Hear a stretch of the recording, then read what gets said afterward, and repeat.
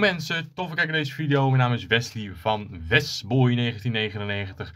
Met vandaag weer de nieuwe Beneliga Career Mode met Feyenoord. En we gaan deze aflevering beginnen met de wedstrijd tegen AZ Alkmaar. Een belangrijke wedstrijd tegen Nederlandse tegenstander weer. En we gaan kijken wat wij tegen AZ kunnen gaan doen. Kunnen wij deze wedstrijd winnen en uh, goed blijven presteren in de competitie. Of uh, wordt het een lastige wedstrijd? We gaan het meemaken. De spelers staan op het veld. De spelers van Feyenoord en de spelers van AZ. En we gaan het zien. Wat voor wedstrijd dit gaat worden. De spelers schudden elkaar de handen. Aanvoerder Geertruida voorop. En dit zijn de opstellingen van Feyenoord. Bijlo, Lopez, Rasmussen, Trauner, Geertruida, Zimanski, Kokju en Timber. En Idrissi, Gimnees en Dielrosen. Dielrosen in eh, de basis en de bank zien jullie hier ook. Dan gaan we kijken naar de 11 van AZ. Oud van Idrissi. Hier zien we Jensen, Wijndal, Hotsikas, Beukema. Ja, het is een beetje te snel, maar dit is in ieder geval de 11 van, van, van AZ bedoel ik. Zeg Vitesse? Ik bedoel de AZ natuurlijk. De 11 van AZ.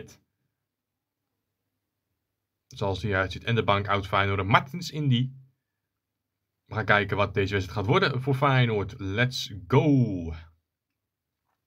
Ze hebben 110 minuten aan de gang. Idrissi met het balbezit.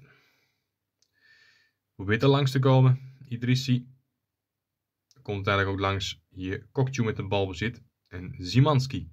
Zimanski gelijk met de kant. En het is de voorsprong voor Feyenoord. Het is Zimanski met zijn doelpunt. En zo zit hij Feyenoord op 1-0. De middenvelder de Poolse middenvelder doet het goed. En de voorsprong is er voor Feyenoord. 1-0. Goede paas ook. En perfect afgemaakt door de eh, Zimanski. Keeper kon er net niet aan. Kwartier gespeeld, 1-0. Gitaar goed verdedigd. Dielrosun. Dielrosun. Bal onderschept hier. Bal zit nu weer voor AZ. Beukema. Beukema en de Wit. Aanval is nu weer voor AZ. De Wit. Oppassen nu. Carson. Carson. is een goede onderschepping voor Feyenoord. Hoekschop wel voor AZ volgens mij. Nee, dat is een doeltrap. Doeltrap voor uh, Justin Bijlo. Die uh, geen aanvoerder wou zijn bij Feyenoord. Vandaar dat Geertruida nu de aanvoerder is. Maar de slechte uitverdediging van Feyenoord zorgt ervoor dat AZ nu bal heeft. Pavlides Carson, Pavlides. Hier de kans voor de Wit. En het is de gelijkmaker van AZ. De Wit met de 1-1. De aanvoerder scoort hem. En AZ komt op gelijke hoogte. Ondertussen minuut 34, zo vlak voor rust. Idrissi met de kans, maar dit schot wordt geblokt. Welkom voor hier dan uiteindelijk de kans? Ja, het is het doelpunt. Het is uh,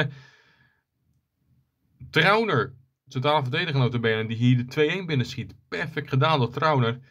En 2-1 is het voor Feyenoord. Begin, of het einde van de eerste helft. 2-1 voor de Rotterdammers. Gernot Trauner. En kijkt AZ toch nog tegen een achterstand aan zo vlak voor rust. Kan Feyenoord er meer van maken? Eerst heeft AZ nu weer de aanval en is het weer oppassen voor Feyenoord. Komt er dan nog een voorzet uit? Na veel heen en weer gedraai probeert AZ dat wel. De Wit en onderschept door Rasmussen. Nu misschien de snelle countermogelijkheid voor Feyenoord. Hier met Gimnees en Zimanski. Dielrosen. Dielrosen komt daar langs. Ja, met zijn snelheid is dat goed. Dielrosen met de voorzet. Jazeker. En de kans. En het is dan de bal naast. Uiteindelijk is nog, ja, gaat hij, maar is al lang over de zaal heen geweest. En is een, uh, was ook nog buitenspel. Bovendien, vrije tap dus voor AZ. Zimanski nog. 43e minuut. Idrissi. Gimnees. Uiteindelijk is de bal dan nu weer voor AZ. De eerste helft bijna voorbij. 2-1 voor Feyenoord. AZ probeert het wel om nog richting een 2-2 te gaan zo vlak voor rust. 1 minuut extra tijd. 1 minuut is al verstreken. Maar AZ krijgt nog de laatste kans. Zo vlak voor rust voor een 2-2. De Wit, de man van de 1-1. Carson. Zit wel ondertussen al dik over de extra tijd heen. En is nu klaar. Getuida Timber. Zit de eerste helft erop.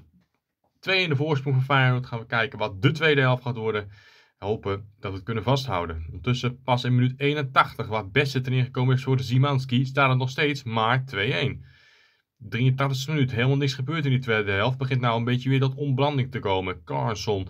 En dan wordt het gevaarlijk voor Feyenoord. Laatste vijf minuten van de wedstrijd. Komt AZ er toch weer meer uit. Het is een gelijkwaardige tweede helft. Nou, niet zo spannende tweede helft geweest. Maar nu pas begint het weer wat losser te worden. Dan wordt het oppassen voor Feyenoord. Want dat maar op 2-1 staat tegen AZ. Rasmus onderschept. Balbezit is nu weer voor Feyenoord. Goede aanval misschien. Kokju de flank richting Idrissi die buitenspel stond. Zo gaat deze aanval dus niet door. De vrije trap is er nu voor AZ. 88ste minuut. Vrije trap genomen, gekopt door Trauner bij een uh, tegenspeler aangekomen. Michio nu. Plavides.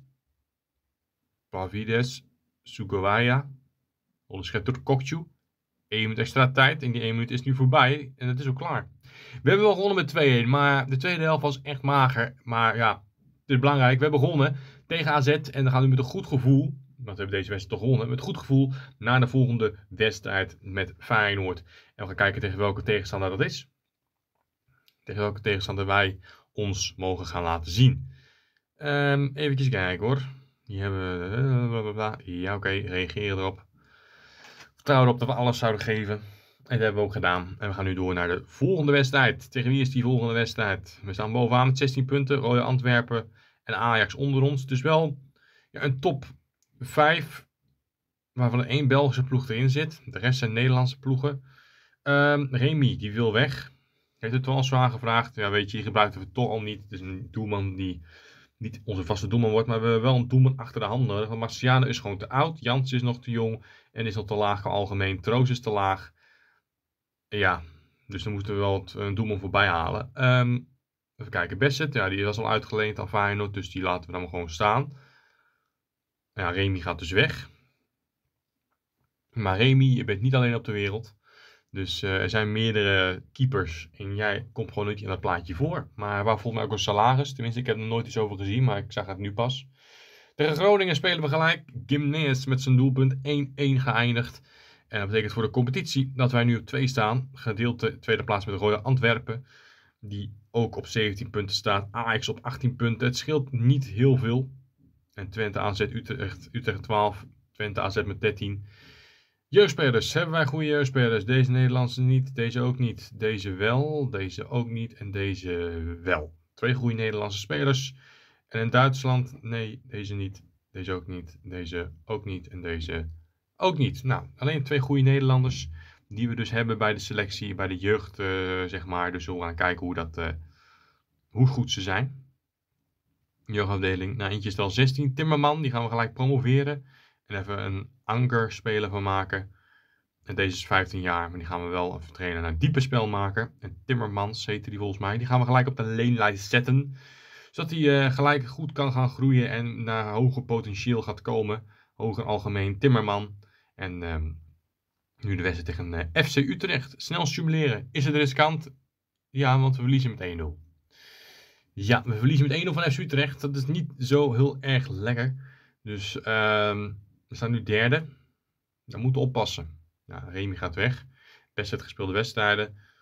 Is toch echt ook uitgeleend bij Feyenoord. Dus die krijgt sowieso nu geen minuten bij Feyenoord. Bondscoach China gaat hem niet worden. En nu tegen FC Twente. Twente Feyenoord. Deze wedstrijd gaan we wat aanpassingen maken. Ik ga Danilo opstellen, kijken of dat beter is met een snel simulatie tegen Twente, tegen zijn oude tegenstander. En 2-2. Hij heeft wel weten te scoren, maar niet te winnen. Dus we hebben weer gelijk gespeeld. Het is wel een beetje... Deze bekerwedstrijd gaan we sowieso simuleren. Het is een Duitse ploeg, dus die simuleer ik sowieso. Idrissi, nou die speelt gewoon, dus die hoeft niet ontevreden te zijn. Bekerwedstrijd simuleren we. Hebben we gewonnen. We zijn door in de beker. Prijzengeld, oké. Okay. Op mailtjes. Herenveen, nu de tegenstander. SC Herenveen. En daarna hebben wij Rode Antwerpen. Herenveen simuleren we weer 1-1. Het is echt een beetje mager. Rode Antwerpen gaan wij de volgende aflevering spelen. Maar het is echt een beetje een magere aflevering. We hebben één wedstrijd gewonnen tegen AZ. En daarna alleen maar gelijk gespeeld. En één keer verloren tegen SC Utrecht. We staan daarom nu ook op de vierde plaats. Uh, met 19 punten en moeten oppassen. Ja, we lopen nu heel erg uit. Dus we moeten eigenlijk de volgende aflevering tegen Rode Antwerpen de nummer 2 gaan winnen. Maar dat is voor de volgende aflevering. Bedankt voor het kijken en later.